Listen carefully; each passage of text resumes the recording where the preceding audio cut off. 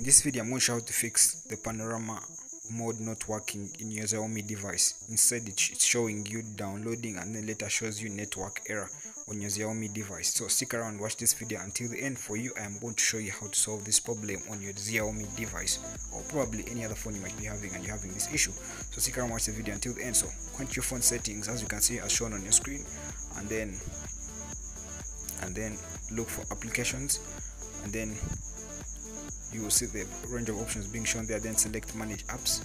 When you select manage apps they will direct you to this. Then now you're going to see this search area there. So if you're a fan of phone tech tips tricks be sure to subscribe to our youtube channel and join the family.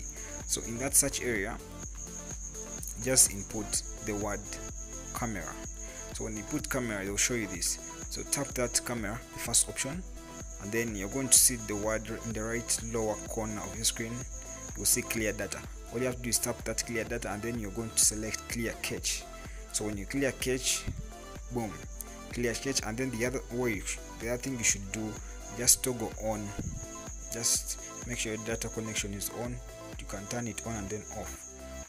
You know turn it on again to use to solve this problem. If this worked for you please let me know in the comments down below and hit like and subscribe if you're new here